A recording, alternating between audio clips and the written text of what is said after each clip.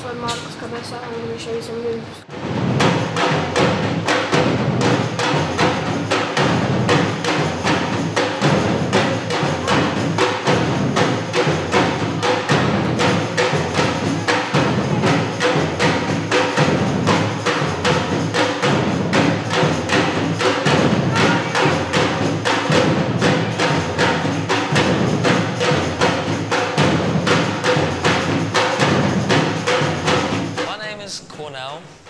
15, nearly 16.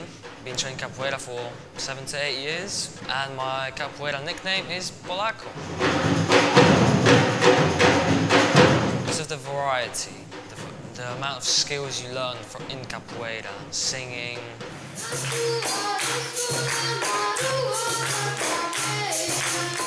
self-defense, confidence, music, a lot.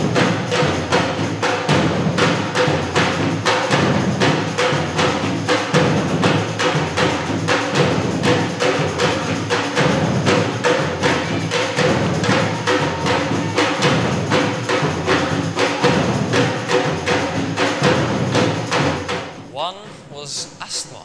I used to have asthma as well. At the beginning, running was a problem for me. Just doing the exercises was a problem for me. And now, asthma is gone. And capoeira also helped me face the challenges I faced at school. So one day I showed a kick to my mates and then they stopped the bullying, everything. And my life changed. My opinion, no. Full, full contact martial art.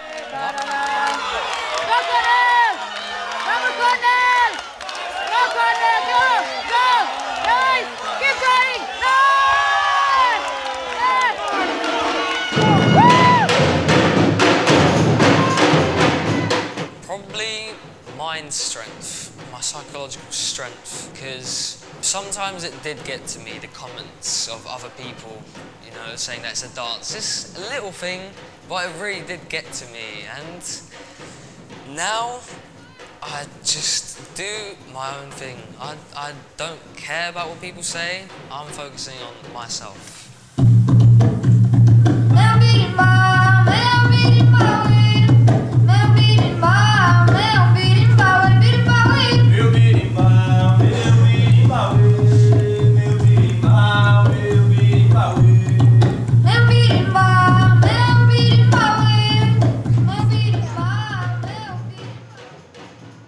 Physical strength as well.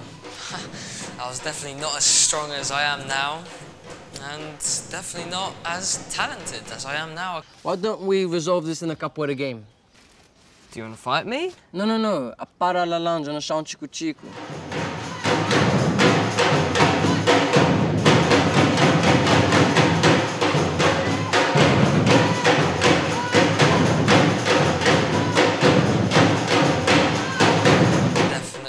massive transformation from where I was at the beginning, shy, little boy, to now, a lot more confident. O meu dá meu dinheiro! O meu dá meu dinheiro! Me dá meu dinheiro! Me dá meu For the ones that already s- capoeira, don't be ashamed of what you're doing. Because I get mocked, you might get mocked that you dance. People say that you dance, that, oh, you're not fighting. Just don't be ashamed of it. Just do what you want to do and just carry on. Because it doesn't matter what people say, it's what you know what how you feel. And to people starting, be open-minded. Don't treat it as a dance. Just go, see, go to a class or two, see what it really is for yourself. Maybe you'll enjoy it, hopefully, because it's changed my life and many others.